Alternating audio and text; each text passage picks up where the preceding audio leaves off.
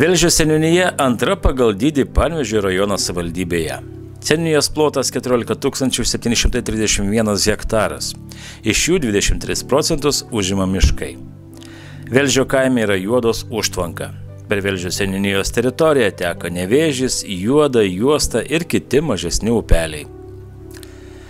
Velžio seniūnijoje įsikūrė 62 kaimai. Didžiausi jų Velžys, Dembava, Staniūnai bei Liudynė. Seniūnijoje veikia didžiausia Panežio rajono savivaldybės mokykla - Velžio gimnazija. Seniūnijoje veikia ir Dembavos progymnazija. Mažosios seniūnijos gyventojus ugdo dvi įstaigos - Velžio lapšelis darželis bei Dembavos lapšelis darželis Malsutis. Centrinė seniūnijos gyvenvietė Velžys. Čia įsikūrus ir senijos administracija. Vilžys istoriniuose šaltiniuose minimas jau 1371 metais. Velžio kaimas žinomas jau iš Vartbergės kronikos, kur užrašyta, jog Livonijos kalavijuočiai 1370, 71 ir 2 metais sunaikino Velžio ir kitas upytės apylinkės vietovės. Upytės valščius 1554 m. inventorius mini Velžio Vaityje su Veltų, Siponų, Navidaičių, Setų kaimais netoli Panvežio. 1909 metais rudenį Velžyje duris atvėrė pradinė mokykla. Šiandien tai pirmasis mokyklos pastatas yra netoli seno Vilniaus plento prie įvažiavimo į gyvenvietę. Pradinė mokykla pradėjo veikti sustiprėjusios nacionalinės priespaudos metais. Daugiau žinių apie mokyklą rasta nuo 1920 metų. Tais metais Panvežė apskrities mokyklų inspektorius Grigonis į keturių klasę paskyrė dirbti į Jonauską. Joje mokėsi apie 80 mokinių ne tik iš Velžio, bet iš Keravo, Staniūnų, Kirkūnų, Velykių kaimų. Stasio Jonausko iniciatyva pradėtas leisti meninis literatūrinis savaitinis laikraštis Velžio balselis. Velžio kaimas priklausė sovietmečiui kurtam Staniūnų tarybiniam ūkiui. 1945 metais prie šio ūkio buvo prijungta Panvižio viščiukų perikla, kuri ir tapo pirmoji Staniūnų paukštininkystės ūkio brandoliu. Bandymų stoties pastatas dabar čia įsikūrusi Velžio seniūnyje. Šiuo metu čia veikia Velžio bendruomenės namai, kur vyksta įvairūs kultūriniai renginiai. Velžys turi ir savo herbą. Velžio herbas – vienas iš Velžio heraldikos atributų. Herbo skydo sidabrinėme lauke žalias vėžys, kurio kūnas dešiniojo kaspino vietoje, dešinėje žnyplėje laikantis raudoną obel šakelę su oboliu. Svarstant herbo motyvus, heraldikos komisija nutarta vaizduoti vėžį ir obolį, kuriuos matyti herbe norėjo velžiečiai. Švariuose šio krašto upeliuose ir dabar veisėsi vėžiai, o derlingose sodose daug obolių. Herbo talono autorius - dailininkas Arvidas Každailis.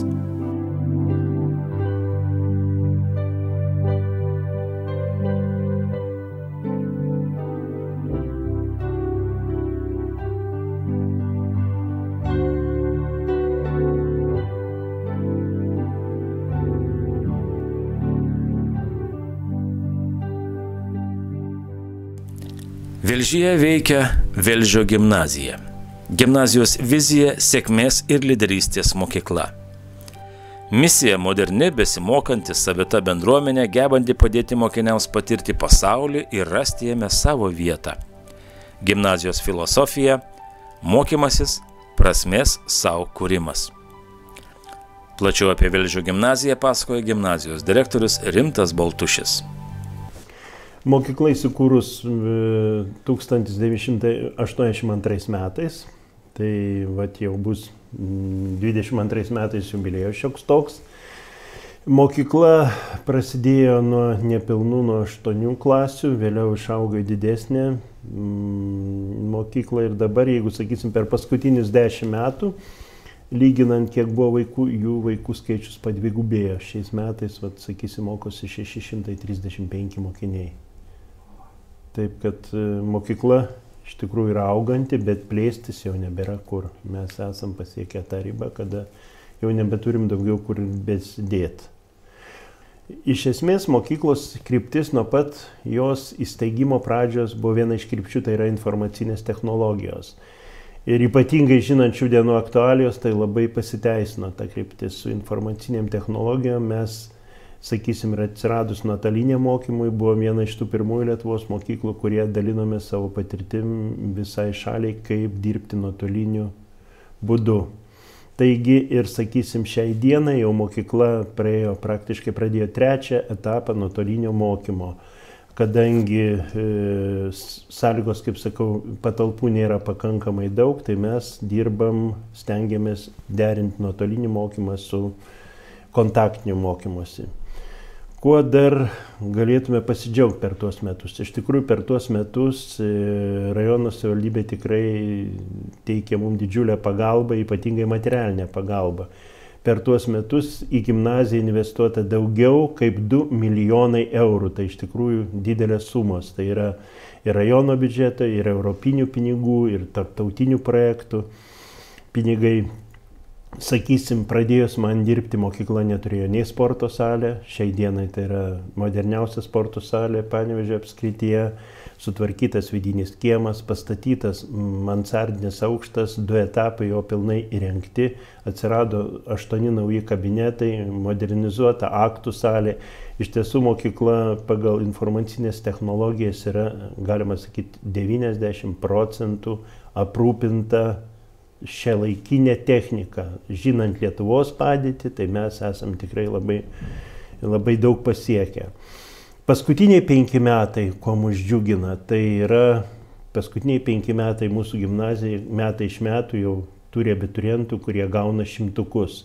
Iki tol mes mokykloje šimtukų nebuvo ir sakysim, netgi ir va šie metai, tai yra jau sakyčiau rekordas, 700 mokyklos mokiniai iš 38 baigusių mokinių, 7 mokiniai gavo šimtukus, tai iš tikrųjų yra puikus rezultatas. Labai džiaugiamės mes 16 metais įvykusių išorės vertinimų mokyklos. Išorės vertinimas parodė, kad mūsų mokykla yra viena iš stipriausių Lietuvos mokyklų. Ir to išdavoje egzaminų rezultatų, išorės vertinimo, mokinių pasiekimų mes patekome tarp 30 stiprią geros mokyklos e, požymių raišką turinčių mokyklų.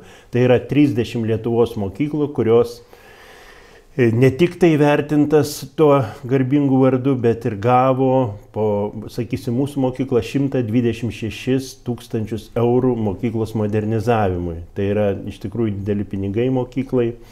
Ir e, kaip ir minėjau, mokykla informacinių technologijų krypties stipri, e, kompetencijų e, dar viena kryptis yra trečioji kryptis yra mokyklos užsienio kalbos. Kaip kaimo mokykloje galiu pasidžiaugti, kad mūsų mokykla turi keturias užsienio kalbas, tai yra rusų, anglų, prancūzų ir vokiečių kalbas. Vaikam pasirinkimas yra pakankamai didelis aukšta mokytojų kvalifikacinė kategorija, iš tiesų mūsų 60 virš procentų mokinių yra mokytojai metodininkai ir turim tris mokytojus ekspertus, tai yra vieninteliai trys mokytojai ekspertai e, rajone, kurie dirba mūsų gimnazijoje. Stipri yra vadovų ir mokytojų komanda. Taip pat mes e, garsėjame inovacijomis savo mokyklos. Sakysim, esame rajone pirmieji dėgė stal, švedišką stalą, stalo maitinimą mokinių, tai sakysim ir iš mūsų važiavo nemažai kas semtis patirties. Prieš daug metų pradėjome pamoką be skambučio, mūsų mokykloje nėra skambučio į pamoką ir iš pamokos. Taip pat kas dar iš naujovių, sakysim, pradėję esam daug, jau ne pirmi, gal penki metai mokyklą, kiekvieną pirmadienį visi mokiniai gėda į Lietuvos himną, tautinės patriotinės tradicijos iš tikrųjų pas mus išlaikomos. Labai stipri mokyklos bendruomenė, turim tradicinės bendruomenės šventės mokyklos, į kurias renkasi ne tik tėvai, mokiniai ir mokytojai, mūsų gimnazijos rėmėjai, socialiniai partneriai Taip kad va, trumpai galbūt galima pasakyti apie tai, kas per tuos paskutinius bent metus, 50 iš tikrųjų mokykla yra pasiekusi labai gerų, pakankamai gerų rezultatų.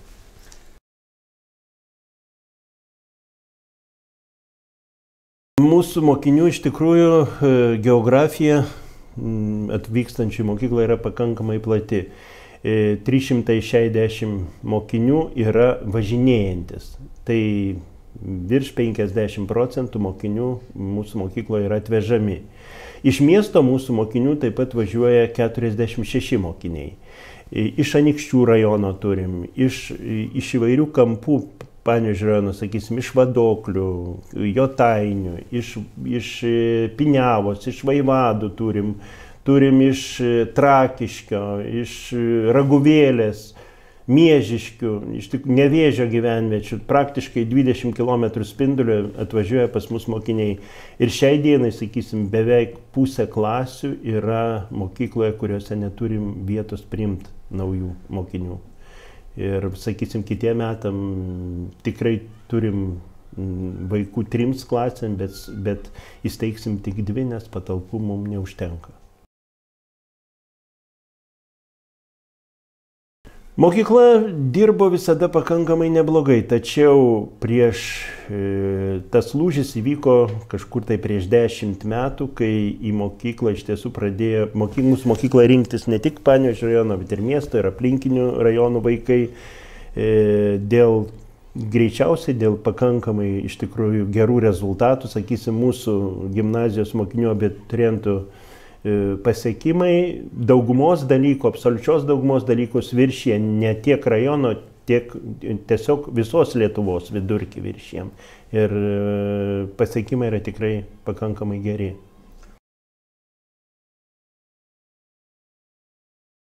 Mokytojų kolektyvas e, iš tikrųjų didžiausia kaita vyksta paskutinius tris metus. Tai yra kartų kaita. Sakysim, šiais metais atėjo devyni nauji mokytojai iš mūsų mokyklos. Iš tiesų mokytojai išeina tik tai į, kaip aš sakau, į paaukštinimą arba į užtarnautą polisį. Sakysim, mūsų mokyklos pedagogė, viena yra pradinės mokyklos dabar direktorė, turim robotikos centro miesto direktorė, taip pat mūsų mokyklos mokytoja ir pavaduotoja buvo direktoriaus Taip pat e, turim išėjusių mokytojų, praktiškai dauguma, tai yra e, informacinių technologijų centre, dabar tai yra nacionalinės švietimo agentūros e, du darbuotojai yra dabar dirbantis su informaciniam technologijom, buvę mūsų mokytojai. Taip kad panagrinėjus, manau, kad penki bent jau mokytojai yra išėję į vadovus. Taip kad ne tik tai mokytojai, bet ir vadovų kalvė yra mūsų mokykla. Esu dirbęs vadoklių vidurinėje mokykloje savo laiku, toliau 16 metų išdirbau rajono savivaldybės švietimo, kultūros ir sporto skyriuje ir į Veržę gimnaziją atėjau, atėjau išėjus ilgametiai gimnazijos direktoriai, kur išdirbo 25 metus, e, direktoriai Vandai Sercevičiai.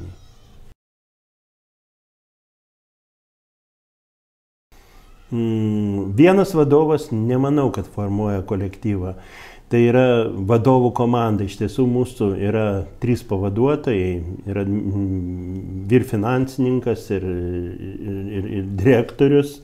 Ir sakysim, mūsų vadovų komanda yra tikrai stipri. Visi vadovai yra e, aukštos kvalifikacijos, tai yra mokytojai metodininkai buvę, tikrai vedė ir patys moka, esant reikalui dėl pamokos kokybės gali padėti nemažai. Ir sakysim, vis tik tai aš manau, kad vienas vadovas negali nuspręsti, tai turi būti, kad įstaiga kiltų, turi būti stipri visa komanda. O žinoma, tie žmonės taip pat turi ir sirgti ir gyventi mokykla.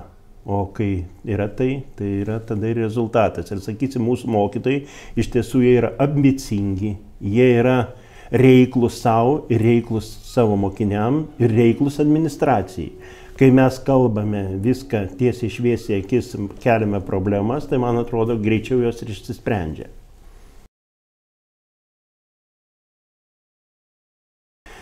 Ko mokykla siekia? Iš esmės, tai mes, mums labai trūksta patalpų. Mes mums labai reiktų prasiplėsti patalpas, nes iš esmės vaiko, vaikų poilsiui patalpų turim labai mažai, o idėjų turim labai daug iš tiesų. Ir e, dirbant su mūsų ilgamečiu meru, tie, ne viena idėja yra realizuota ir dabar turim projektą numatę ir e, priestato pabaigimui ir vidinio kiemo uždengimui. Mūsų projektas mokyklos yra, yra vienetinis, tokio projekto Lietuvoje antrojo, antro tokio projekto nerasit. Ir kas mums dabar labai svarbu, mums dabar labai svarbu individualiai kiekvieno mokinio pažanga ir mes stengiamės pamatyti ir rasti kiekvieną mokinėje į tai, kas pas yra geriausia, pakelti jo ūkdymo rezultatus nes mūsų iš tiesų vaikai yra, kaip ir minėjau, iš įvairių rajono pakraščių, turim ir pakankamai sunkių. Ir dabar kalbant apie tai, kad į mokyklą ateis įvairių poreikių vaikai, tai šiais metais iš tikrųjų mes pasipildėm pagalbos specialistais, turim visus specialistus, pradedant psichologų, baigiant keturiais mokytojo padėjėjais. Ir manau, kad e, siekiant mūsų tikslų yra pagrindinė mintis ta, kad turi būti aukšta mokytojų kvalifikacija, suteikiama geros sąlygos mokytojų darbui ir kūrybiniam jo ugdymui mokinių.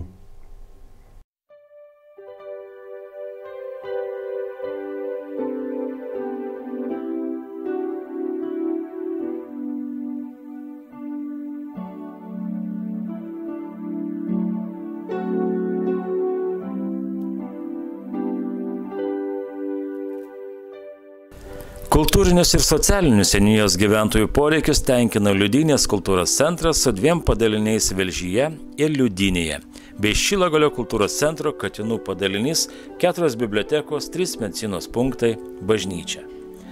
Kultūros įstaigose veikia mėgėjų meno kolektyvai - Kapelos Demba, Dvarkėmis, tautinių šokių kolektyvas Kupolėlė, seniorų šokių kolektyvas Svaja, folkloro kolektyvas Gegužraibė. Plačiau apie Senijos kultūrinį gyvenimą pasakoja Panvežio rajono liudinės kultūros centro direktorė Karolina Raziūninė.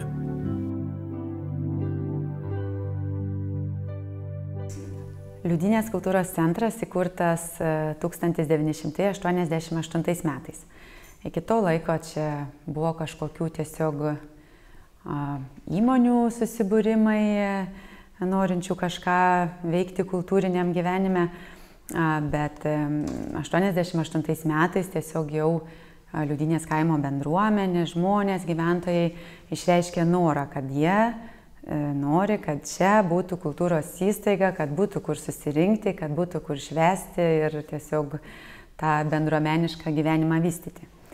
Ir savivaldybė atsižvelgia į bendruomenės norus ir čia buvo įkurtas kultūros centras, kultūros namai tuo metiniai. Ir kaip tik vat, prieš porą metų atšventėm 30 metų jubiliejų. Ir iki 2004 metų buvo čia tik kultūros centras čia, o tarkim Velžys, Dembava ten prie seniūnijų priklausė šiokie tokie kultūros padaliniai, o 2004 metais įvyko reorganizacija visų kultūros įstaigų, jos buvo atskirtos nuo seniūnyjų ir tada Liudinės kultūros centras gavo dar du padalinius. Tai yra Dembavos padalinį ir Velžio padalinį. Tai tokia kaip rajono savivaldybės įstaiga mes dabar gyvuojam nuo 2004 metų, tačiau jau, kaip ir sakiau, 88 čia viskas prasidėjo ir šitam būtent pastate viskas vyko. O 2000 2012 metais e, buvo baigta šio pastato renovacija, kur dabar kaip ir esam, kaip matom, kaip čia atrodo. Anksčiau buvo vaizdas visiškai kitoks ir tiesiog pagal tuometinės madas. tai va, to dabar atsinaujinę gyvenam šviesiai, gražiai. Tiek čia kultūros centre, tiek padaliniuose, visur veikla yra pritaikyta žmonėms, bendruomeniai, ko jiems reikia. Visada atsižvelgiam į tai, ko žmonės nori, ko turim daugiau, ar turim vaikų daugiau, ar turim suaugusių daugiau poreikių kultūrinių. Tai tarkim, čia liudinėje mes turim liaudiškos muzikos kapelą, taip pat, kadangi liudinėje turim daug vaikų grįžtančių iš mokyklos velžyje, tai čia turim daugiau vaikų kolektyvų. Tai ir šokių kolektyvai, pramoginiai šokiai, ir teatro kolektyvas, ir dailės studija. Dembavoje e, turim daugiau suaugusių. Tai ten turim ir e, suaugusių liaudiškų šokių kolektyvą, ir liaudiškos muzikos kapelą, ir vaikų studija taip pat yra, bet sakau, ten truputėlį mažesnis susidomėjimas. Velžė turim ir folkloro ansamblį, ir labai stiprų vaikų šokių kolektyvą e, tautinių. Ir, ir, ir, ir seniorų tokį ansamblį. Nu, žodžiu, kiekvieną kartą vis stengiamės prisitaikyti, ko žmonėms reikia ir, ir, ir, ir, ir tą jiems duoti, jeigu atsiranda kažkoks poreikis iš, iš, iš bendruomenės, kad jie norėtų ar šokti, ar dainuoti, tai stengiamės dar kažką įkurti iš tų galimų resursų tą, ką turim, bet e, šiaip pat e, turim iš viso per kultūros centre ir padaliniuose veikia iš viso 14 kolektyvų, dvi iš jų yra studijos mm, dailės. Galim mes pasidžiaugti, jeigu taip iš istorinės dar pusės paėjus į, į, į ankstesnius laikus, tai Liudinės kultūros centre buvo įkurtas pirmasis Lietuvoje varinių pučiamų instrumentų orkestras. Jis gyvuoja iki šiol ir jis 98 metais yra gavęs aukso paukštės apdovanojimą, kaip naujai suspindusi žvaigždė buvo tokia nominacija ir, ir, ir, ir nuo šio, nuo čia, nuo šios vietos, nuo šio orkestro prasidėjo visas judėjimas varinių pučiamųjų orkestrų visoje Lietuvoje ir dabar, kaip žinom, jų yra jau visur, ypač Panevežio rajonas garsėja jais. Ir tikrai džiaugiamės, kad ir orkestras vis dar dabar gyvuoja, užauginės jau ne vieną kartą muzikantų ir, ir, ir mielai sugrįžtančių mūsų aplankyti, tai iš ties labai smagu. Pavadinimas e, vaikystės vėjas. Ir jam vadovauja taip pat nuo pat pradžių Vidas Dulkė ir jis dar tebe dirba ir, ir, ir, ir, ir vadovauja toliau tam orkestrui. Taip. Tai e, taip pat turim labai stiprią vaikų šokių grupę tautinių, e, kupolėlę Velžyje, kuriai vadovauja Jonas Marcinkievičius. Tai jie tikrai irgi susilaukia daug apdovanojimų, dalyvauja konkursuose, Agonėlė yra toks Lietuvos mastų konkursas, tai dažnai grįžta iš ten laureatais. Ir, ir, ir, ir dainų švenčių yra tikrai visi pagrindiniai dalyviai ir ne tik tas šokių kolektyvas, bet ir dauguma Liudinės kultūros centro kolektyvų dalyvauja aktyviai dainų šventėse. Tai turim kuo džiaugtis. Veiklą tai vykdom tikrai ištisus metus, iš viso metuose jeigu suskaičiavus visus mažus renginukus, mažas, kad ir parodas, kad ir išvykas, kad ir mažus koncertus, tai iš viso per metus turim kokį 150 renginių. Bet žinoma, yra didieji renginiai, tai yra tik galima juos suskaičiuoti lengvai, jų tiesiog turime mažiau, nes, kaip žinot, ir pajėgos, ir finansavimas nėra beribiai. tai pagrindiniai renginiai tokie liudiniai pačioj, tai mes a, turim tokį išskirtinį renginį, tai cibulinė lauko sezono atidarimą. Šis renginys gimė 2012 metais. A, buvo ieškoma tokių naujų formų renginių, a, kažko ypatingo, ką mes turėtumėm čia liudinėje. Nes a, liudinėje gan sudėtinga, nes šis kaimas nėra labai gilių tradicijų kažkokių, jis nėra labai senas. Čia vis tiek yra panevežio priemestis ir taip ir kūrėsi čia gyventojai ir neturi kažkokios gilios senos istorijos, už ko buvo galima užsikabinti. Tad e, buvo ieškoma, kuo čia sudominti žmonės ir kada buvo e, kalbamasi su bendruomenė, ką čia mes turime ypatingo, paaiškėjo, kad čia gyvena labai daug stasių. Stanislavų, Staselių ir buvo nutarta, kad galbūt reikia paminėti Šventą Stanislavą, tai yra gegužės Pirmą savaitę, gegužės 8 dieną, Šventas Stanislavas Cibulinis, kaip taip vadinamas. Ir pradėjo, pradėjome švesti tą Cibulinę ir jinai taip užsikabino ir nors tų stasių jau nežinau, ar tiek daug be yra, bet tikrai šios šventės visi labai laukia, visi tai būna pirma lauko šventė, pirmas lauko renginys pavasarį. Ir, ir, ir tikrai jau tapo tradicija ir jau negalėtume niekaip be šios šventės, jau liūdinė žmonės nesuprastų, jeigu ši šventė neįvyktų. Netgi dabar, kada šie metai tokie sudėtingi ir gegužės mėnesį mes negalėjom padaryti tos šventės, tai mes nukėlėm į rūpjūtį tą šventę, tai išėjo truputį priešingai. Visada darom lauko sezono atidarimą, o šiais metais darėm tokį uždarimą kaip ir uh, rūpjūčio mėnesį. Tai visada koncertuoja mūsų kolektyvai, kažką pasikviečiam, švenčiam parke, turim tikrai tokią gražią erdvę. Šiemet iš vis dar pagražėjo parkas, turim renovaciją parko atliktą, apšvietimas parko atsirado, tai dar smagiau ir jaukiau ten būti. Ir mūsų šventėje yra verdama ypatinga aukštaitiška cibulinė sriuba, kurios taip pat visi labai laukia ir, ir, ir jeigu pasikviečiam svečių iš toliau kažkur kokių kolektyvų, tai e, visi tikrai žada sugrįžti, vien tos ribos dar kartą paragauti, nes tikrai labai jinai ypatinga, nes e, retas ją iš tiesų ir žino, nes e, daug kas žino cibulinę žemaitišką. Jis yra visiškai, visiškai kitokia, jinai yra šalta, susilkė ir, ir, ir tokia rūkštelė, o, o mūsų yra karšta ir verdama labai ten slaptų receptų. Velžyje turim tautinių šokių festivalį Velžio klumpė, kur suvažiuoja tautinių šokių kolektyvai ir šoka sceninius šokius tautinius. Taip pat turim pramoginių šokių festivalį Jaunystės šėlsmas. Čia jau suvažiuoja pramoginių šokių grupės, gali pasirodyti steigiamas nominacijos. Taip pat šiemet išbandėm pirmą kartą erdvę Velžyje, irgi turim renovuotą Nevėžio pakrantę. Tai pirmą kartą išbandėme pasidaryti toj Nevėžio pakrantė joninės tokias didesnės ir tikrai jos labai mums gerai pavyko, ten erdvė labai dėkinga, tik joninės ir daryti ant upės kranto. Tai manau, kad va šios joninės velžyje irgi taps labai labai tradicinės, nors jos visada vykdavo, tik žinoma mažesniu, mažesnė apimtim, nes neturėjom tiesiog vietos, kur, kur jas renkti. O dabar ta nauja erdvė tai tiesiog nuostabiai tam tinka ir šiemet sulaukė šventė labai labai didelio populiarumo ir susidomėjimo. Tai aš manau, kad tikrai mes dabar jau stengsimės ją išlaikyti tokią didesnę ir sutraukti net žmonės iš miesto, kas buvo šiemet, pavyzdžiui. Yra kolektyvų, kurie gyvuoja jau seniai ir žmonėms yra tiesiog jau susiformavęs poreikis, kultūrinis poreikis kažkur eiti, kažką daryti, kad po darbo jau tiesiog nesėdėti namuose, o galėti kažkur išeiti ir, ir, ir, ir tos koncertinės išvykos labai motivuoja va, tuos kolektyvų narius, kad jie turi dėl ko repetuoti, mokytis ir, ir, ir, ir kažkur pasirodyti. Labai labai to reikia.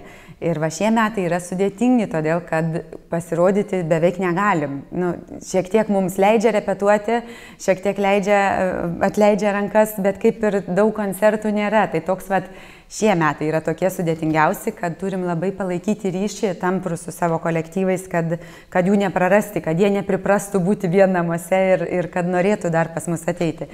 Bet um, tikrai girdim tą poreikį ir, ir suaugusių vaikų, tai žinoma, jų kalbinti nereikia. Jie tikrai labai nori visur eiti, jie tikrai nenori būti namuose ir, ir vėl va, šiuo metu dabar, kada yra vėl uždraustas repeticijos, tai, tai tikrai jie labai nuleidę galvas išeina, kodėl jie turi po pamokų būti jau namuose, o negali čia ateiti. Tai nežinau, žinokit, ką pasakyti. Net nepasakyčiau, kad, kad trūktų žmonių kolektyvuose. Ne, tikrai jų pakanka ir, ir vis kažkas atsiranda dar norinčių. Tikrai atsiveda tiesiog, žinot, iš lūpų į lūpas. Pasikviečia kažkas, kažkas išgirsta, kad čia e, tiesiog draugai atsiveda savo draugus ir, ir, ir, ir kolektyvai nenyksta, negalėčiau tai pasakyti. Čia labai nedidelė salė, tai pas mus tikrai būna pilna, jinai čia labai greitai užsipilda. Velžyje, kur turime 300 vietų salę, tai jau ją sunkiau užpildyti.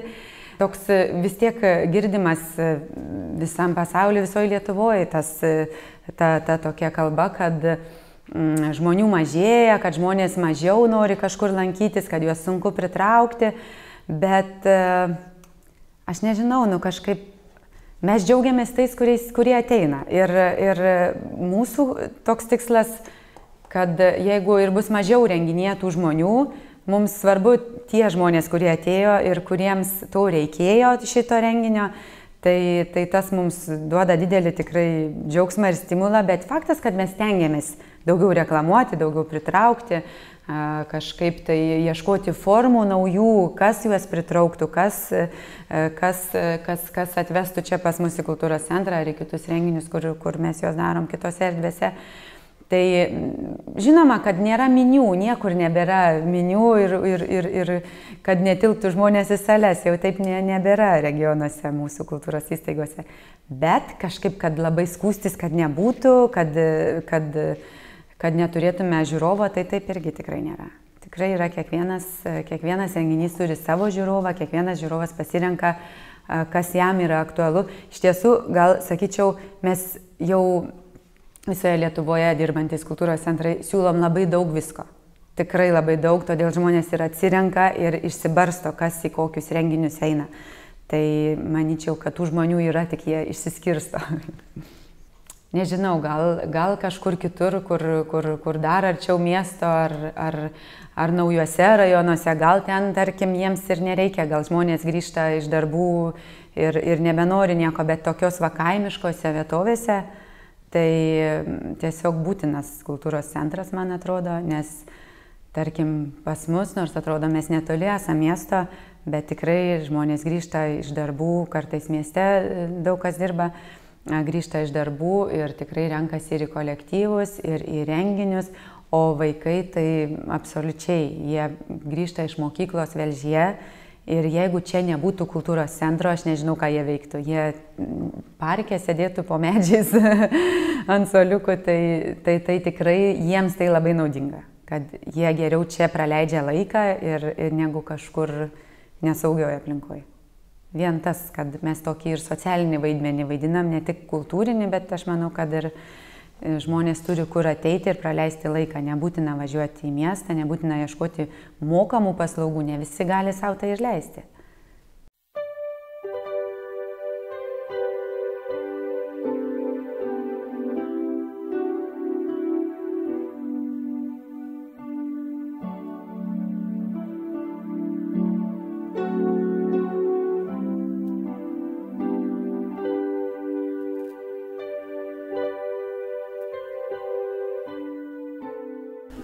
Velžio seniūnijoje veikia 10 gyventojų bendruomenių ir seniūnijos senjorų asociacija Velžynė.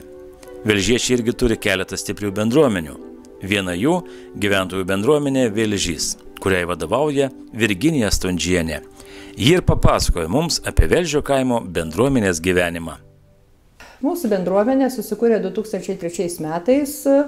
Pirmiausia, pirmininkas buvo Vytautas Šeštokas porą kadencijų, Ir e, po to jau perėmiau aš. Tai mūsų bendruomenė, kadangi daugiausia yra pagyvenę seni žmonės, tai tokias e, puoselėm tradicijas, papročius senas, senis, mūsų įsikūrimo laikotarpį dar nebuvo nei kultūros namų, tai mes e, tose senose patalpose bandymų stoties darydavom renginius tokius tradicinius Ir po to vat, kažkaip e, atsidarė tie kultūros namai ir mes toliau tęsiam šitą, šitą veiklą. Na, užsimam įvairiais amatais, kadangi čia tokia kaip ir amatų centriuką turim, tai keramika virvelinė, ten vyriešinės moteris mesga, e, margučius, marginimo raštus įvairius, e, advento vainikus pinam. Na, nu, žodžiu, tokia vat veikla, užim, daugiausia užsima užimtumu. Daugiau dirbam sądinę kultūrą, tai turim ansamblį, tai daugiau repetuojam ir čia repetuojam, kartais kultūros namuose. Švenčiam kalendorinės šventės. Liepos 6 dieną minim Mindaugo karnaimo dieną, kadangi tautiška giesmė aplink pasaulį yra e, tokia akcija, tai dalyvavom toje akcijoje ir netgi mūsų e, tas gimno gėdojimas buvo kuriamas toksai filmas, taip esam patekę į tą filmą 15-16 metais. Šiaip e, bendraujam su e, įvairiom bendruomenėm, turim daug ryšių su Respublikos ir su Daugpilio Lietuvų bendruomenė ir dalyvaujam tarptautiniuose festivaliuose. Tai mūsų va, toks duetas būdavo, tai Nida Interkom, Palanka Interkom, bendruomenių forumuose. Nu, bendruomeniai pas mus yra apie 50 narių, taip, daugiau ir kažkaip ne, ne, ne, nesusirandam, nes daugiausia dirbama su senyvo amžiaus žmonėm, grinai su e, senais e, velžiečiais, vadovaujame folklorui, nu, tai daugiausia mes tokiam vat, ir, ir etninę, etninę, reiškia, kryptim dirbam. Nu ir šiaip tai darom, sakau, renginius, atvažiuoja ir ir, ir, ir iš kitų bendruomenių čia susitinkam, su Rožino bendruomenė bendraujam. Dabar buvo Baltijos kelias koncertavom. Kadangi turim kolektyvą, tai žodžiu, daug važinėjom su tokia vat, e, muzikinė programa.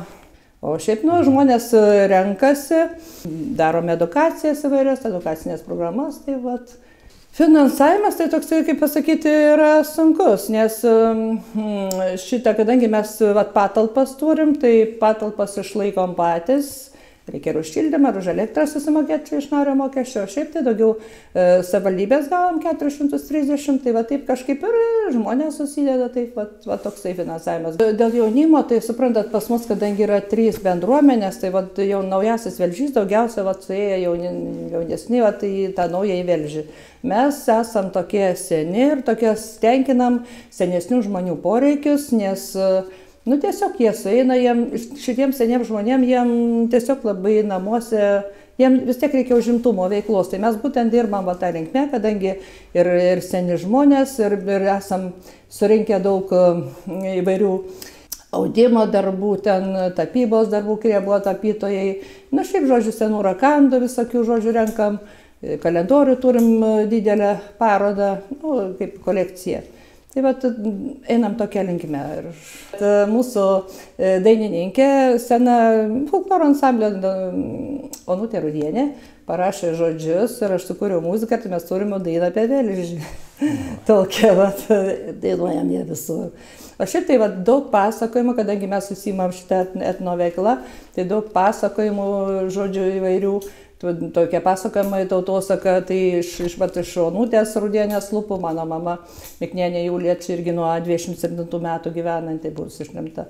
Tai irgi, žodžiu, labai dainininkė, tai daug surinkę esam dainų iš, iš to krašto, nu, kadangi mes tokias, kaip skaityt, skaitykit, teikiam e, etninės paslaugas, toks, va, kadangi matus kaip ir centrą nu, pasidarę turim, bet mūsų tokia veikla yra daugiau etninė, kaip ir paslaugos renginiai, šventės, taip toliau. Na, nu, šiaip tai, tai šventės, tai nu, visas švenčiam Adventą ir, ir atvelikį, ir, ir, ir Kalėdas, ir, ir tremties dieną, ir, nu, žodžiu, visas, visas kalendorinės šventės taip pat. Būna talka darom, tai tada mes, vat, nu, pavyzdžiui, va, čia vat, visą laiką pjaunam žolę čia prie tų, prie tų pratalpų, susitvarkom taip. Nu, kadangi mūsų toks, kaip pasakyti, tik tai valdyba yra e, tokia truputį jau mano amžiaus, o kiti tokie senesni, tai mes jau kažkokių labai didelių darbų nenuveikėm.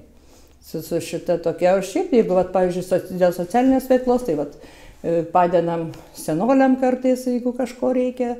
Būdavo turėjom irgi tokį žmogų, kuris ten sunkiai gyveno ir, ir neturėjo pajamų, tai vat, visa bendruomenė tiesiog padėdavo. Ekskursijas važiuojam, būnam, bet mūsų ekskursijos daugiausia būna, mes vykstam daugiau tokias koncertinės, jau važiuojam į Latviją, kadangi bendraujam su daug pilių lietuvių bendruomenė, tai vat, nuvažiuojam vat, daugiausia vat, su Kirna, Joniškio rajono Kirnaičių bendruomenė, su Zilpamošiu, su Juotpenų bendruomenė, mes, nu, taip, Lietuvoje daug bendruomenių bendraujam. Tai va tokias daugiau išvykos į bendruomenės, pasižiūrėti, kaip jie gyvena, pakoncertuoti ir, nu, tai tikriausiai daugiausiai šventėse. Ir mes darom renginius, tai va čia paskutiniu metu prieš tą koroną tai darėm tokią patalkių vakarušką patalkę, čia va naujo šviesos aikštėje renktoj. Tai mm, Gernaičiai, Rozalimo bendruomenė buvo suvažiavę su kolektyvais, pasi, nu, kaip pasakyti, koncertą parašę. Va taip, va, jie gyvenam taip.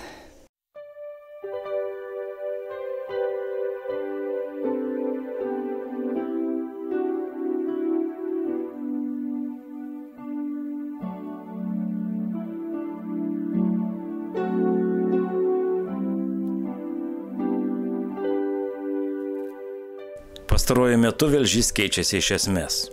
Panvežio rajono Velžio miestelį atnaujintos net šešios viešosios erdvės. Pirmasis objektas Nevežio pakrantė, kurie turėtų persikelti miestelio kultūriniai renginiai. Naujos daugia funkcinės erdvės pritaikomos gyventojų bendravimui, laisvalikio leidimui, aktyviam poilsiui. Taigi pasižvalgykime, kaip dabar atrodo Nevežio pakrantė Velžyje.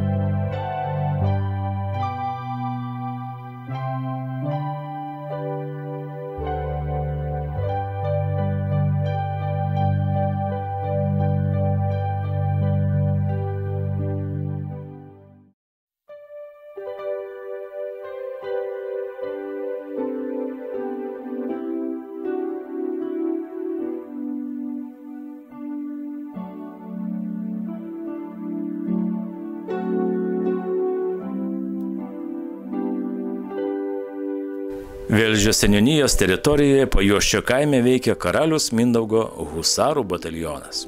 Karališkasis husaras - tai ištikimybė, narsa ir kovingumu pasižymintis karys, kuris puoselėje persipynusias ketvirtojo pėstininkų Lietuvos karalius Mindugo pulko karių ir Lietuvos didžiosios kunigaikštystės bei tarpukario husaro tradicijas ir kovotojo dvasę. Tęsiant gražias tradicijas ir išlaikant pagrindinius bruožus, būdingus karališkajam husarui, karalius Mindogo husarų bataliono kariai rengiami valstybės ir jos gyventojų ginkluotai gynybai, dalyvauja tarptautinėse operacijose ir misijose, teikia pagalbą valstybinėms institucijoms bei civiliams gyventojams. Vykdydami pagrindinius karalius Mindogo husarų bataliono uždavinius, kariai siekia bendro tikslo būti pasiruošus savarankiškai ar didesnio junginio sudėtyje vykdyti kovinius veiksmus ir esant reikalui ginti sausumos teritoriją.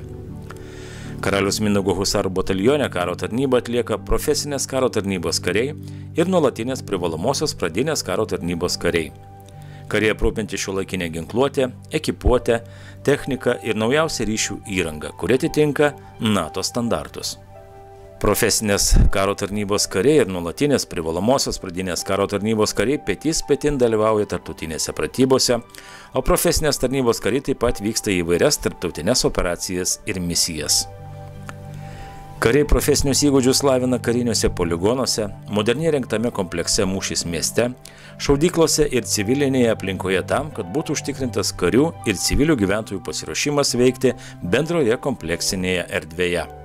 Tęsiant protėvių tradicijas ir siekiant valstybės gerovės ateityje, šlovinga praeities kovų istorija įpareigoja Husarų bataliono karius didžiuotis, būnant saugumo garantų Šiaurės rytų Lietuvoje.